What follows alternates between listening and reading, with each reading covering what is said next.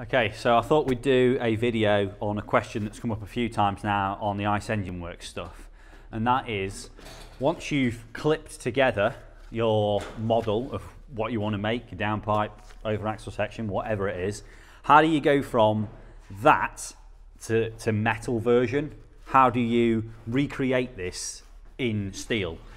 Um, now there's like the Icengineworks way, and then there's, uh, I guess, the Fabco way. But this is the way that I think is probably the most common because of what we use in the UK, which is shorter legged um, dairy bends rather than like longer legged mandrel bends in the tight radius stuff like this downpipe kit.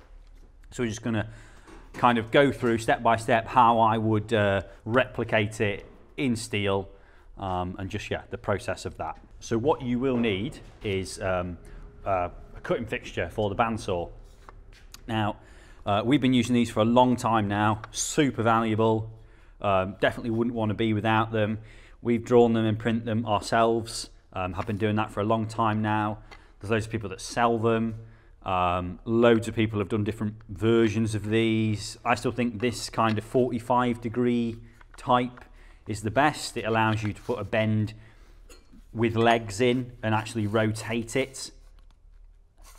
Whereas if you have like a full 90 degree uh, fixture, you can't actually rotate a bend with legs. So I still think this is the best way of doing it. We're actually just going to give the STL file for this away so that if you've got your own 3D printer, you can just print them because it's super useful in terms of not just the Icengineworks, but, but useful anyway. So you'll need this and a digital angle finder. And then once you know what angle you need, you basically set up the, uh, the bend in the bandsaw, in the cutting fixture and cut. So on this part that I've set up here, I've got a 90 degree bend so this is just a normal tight radius 90 from the downpipe kit, uh, you know, three inch radius 90 with no leg on here. Um, and then I've got one, two, three, four inches of straight section. And then one, two, three 15 degree bends, that's a 45, and then a straight section. So I'm going to go through now how I would make this if I was to use our three inch tight radius bends.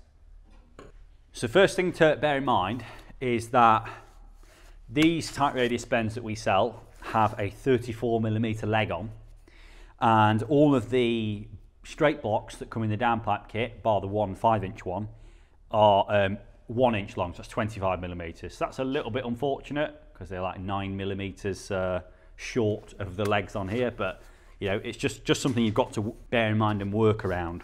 I need a 45 degree bend and a 90 degree bend. The 90 is easy, I just need to cut one leg off.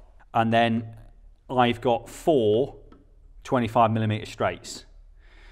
So I've got two options here. And I'm going to have to take that 34 millimeters out of this 100 millimeters. That's no problem, that's doable. But the 45 degree bend at the other end is where it gets, um, I've got two options. So this has got a one inch straight after it. What I can do is I can either cut this bend at a 45 and I can have my leg this side or I can have it this side. Haven't decided yet. First thing I'm going to do is cut this down using the, the bandsaw fixture and then we'll figure this bit out in the middle after. So you just put the bend in the fixture like so. And again, 45 degrees is, is really easy to do. Um, again, it's meant to have a gap in the middle. That's so that you can clamp it up. Um, 45 degrees is super easy. I'm just measuring 45 from the back of the bend to the front of the cutting fixture. So what I'll normally do is if I want 45, I'll just lock off my angle finder.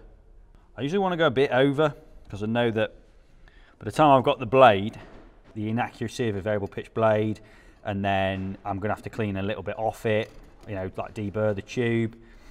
Um, you know, I know I'm going to be left with something, you know, that's a little bit probably closer to the 45 than I need. Um, so yeah, I'm going to just get that in like that. Now, of course, I'm going to use a bandsaw, but you don't actually need a bandsaw to use one of these fixtures.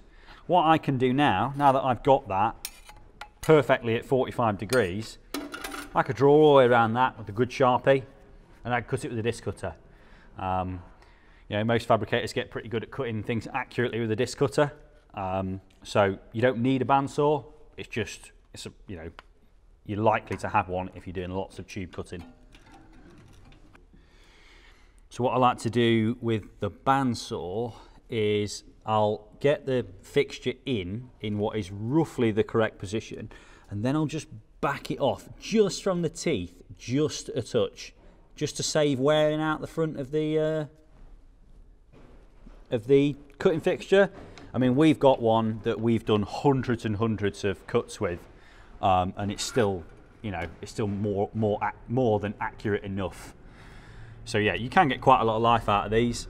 Just a case of making sure the bend is square in the jaws, which it is. It looks good. Just clamping it up tight and then cut away.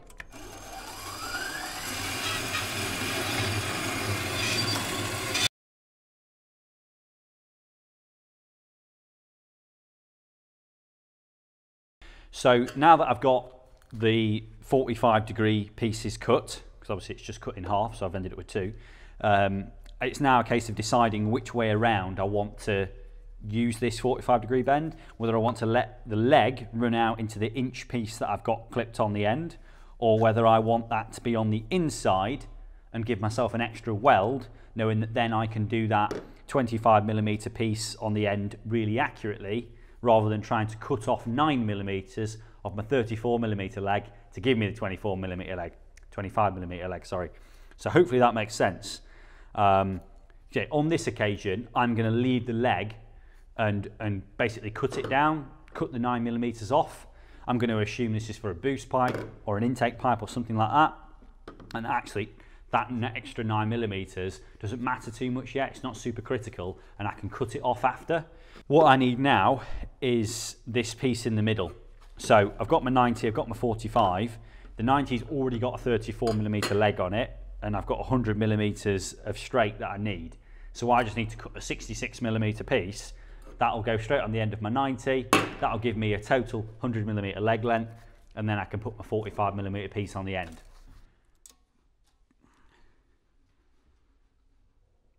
Sixty-six. Right, so we've now got our straight piece cut.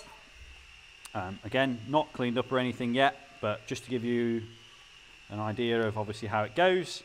So this is the part we're trying to replicate, and we're getting close to that now.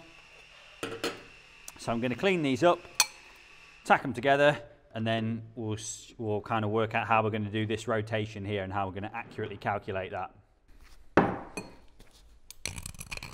Okay, so when it comes to working out the rotation, there's again a few ways of doing this, and I'm still experimenting as well, actually, um, with what is the best way. But the the kind of way I'm doing it at the minute is, I think, fairly simple. So I've got an old knackered set of digital verniers that I, that I just use as like a, a I guess a rough manual vernier, and I'm going to set them at like roughly 38 mil, um, because that is you know roughly half of 76 I don't need to get this spot on um, because it doesn't, it doesn't matter. All I need is to make sure that I mark these two the same because it's actually the difference between these two that matters, not that they're marked accurately. So the first thing I'm going to do is because the Icengineworks has arrows all along the outside edge, that's where I want to mark my tube at, on the outside. So I'm actually going to mark a centre line halfway up as if it were on the bench. So like, you know, as if it were that.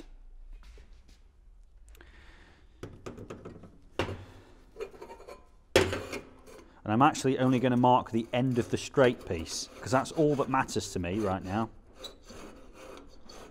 So I've got a nice line on there. Again, I don't need to go crazy with it.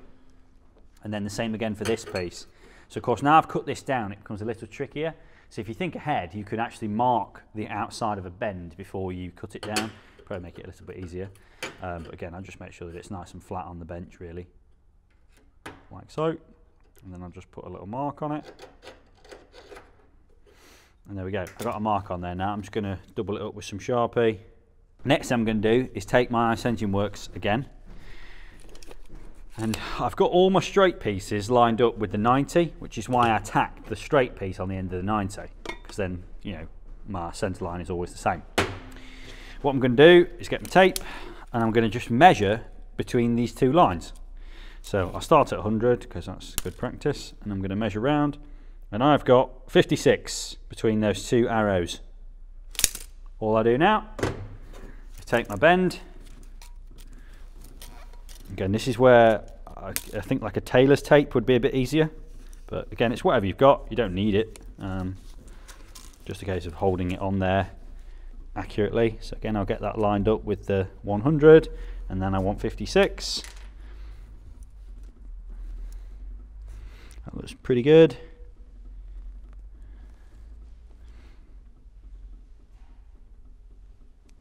There we go, 56, line that up get those two lines marked up and uh, tack it up and I should have a very close replica of the Icengineworks. So that's just going through a really simple part. Now I know there'll be a lot of people that say I can make that without Icengineworks and I know that. I just wanted to demonstrate a simple part because it's easier to explain, like how to calculate the rotation and you know the distance between the two um, kind of like bend angles and things. Now, the, the whole idea and the beauty of these Icengineworks blocks to me is that you can start with something that's plastic, that's easy to adjust, doesn't cost any kind of material wastage, you know it's right, you know it fits in the gap, and then just translate that into stainless steel without any wastage. I've not wasted anything. I cut one piece of straight, that I know was going to be the correct length and I cut one bend and I knew the angle was right. So I was able to get it right the first time. The only challenge is going is translating the plastic into stainless steel. And so hopefully this video goes over how to do that using again quite basic tools really, you know, a less than 10 pound digital angle finder and a 3D printed um, cutting fixture. So hopefully this has been valuable. We are going to do some slightly more complicated things as well. I just wanted to start out with something basic because it's a question that keeps coming up. So any questions, please drop them in the comments and uh, yeah, we'll do our best to reply.